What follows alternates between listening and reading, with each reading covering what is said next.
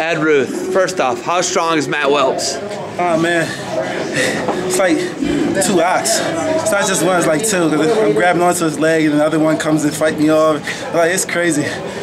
Looking at the matchup, you know, we weren't able to get the matchup until late. You know, that he was kind of like a guy we wanted the, you know, we wanted Taylor Ruth, but we couldn't get that matchup. We get this matchup. Is that someone that you wanted to wrestle, or just whoever we put in front of you? Um, he kind of is someone I want to wrestle. You know, he's the next weight up. He's one of those guys that was sitting at the, you know, the top of the rankings. Uh, I mean, like I respect him as a wrestler. You know, he's like what he did. You know, he still accomplished things in the wrestling world. And like I was like, when I got a chance to wrestle him, I was like, Matt Whoops, like sure. Knowing that he had some weight on you, was that a concern of yours at all? It was. You know, it was the whole time I was here. But it's like once you step out there on the mat, it's just it's all about your heart. Be as honest as you can. When's the last time you actually stepped on a wrestling mat before tonight? Really? Uh, whew, I actually been in the wrestling room pretty much every day. After, You have. Well, not the first week, but the next week after that, you know, I took probably just two days off, but I've pretty much been on the mat every day. Is that for U.S. Open? Is that what you're training for? Yeah, 85 kilos? 85. kilos. 87 kilos. Yeah, 87 right now. Are you How gonna? you make Are you today? Huh? How much money you make? I'm not sure if I can tell you uh, guys. like looking at that? all right. You're pro. I made five dollars.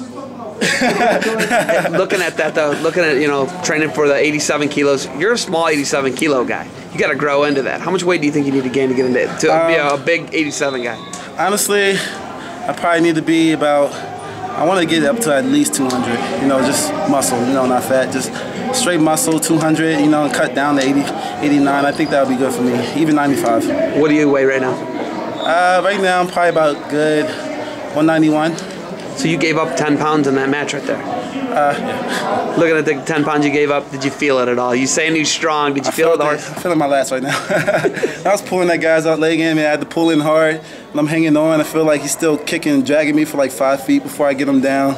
But you know, it's just it's just one of those things where you just gotta hold on and hope he falls. What did the Sandersons brothers say to you prepping for this match? And uh, you know, Coach Cunningham, what they tell you? Uh, everybody said the same. He's a big guy. a lot of people have been saying, "Wow, he's a pretty big guy."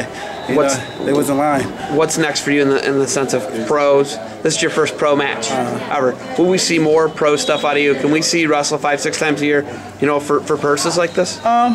Definitely. I mean, like I'll come out do stuff like this. Uh, I want to focus more on freestyle. You know, getting my freestyle grounding be- below me. I need to build a good foundation for that. But I feel like, you know, if I can slip one of these in there, I will. Can you win the world title at 87 kilos? I don't got to see that. I feel like I can do it. It's just same thing like I said before. It's just heart and training. Can you get on the team first? Yeah. On the team? All right, you got It's a long else? road, but You got anything else for me? Uh. I like nice socks. hey, thanks for the time. Good luck. See you in Vegas. okay.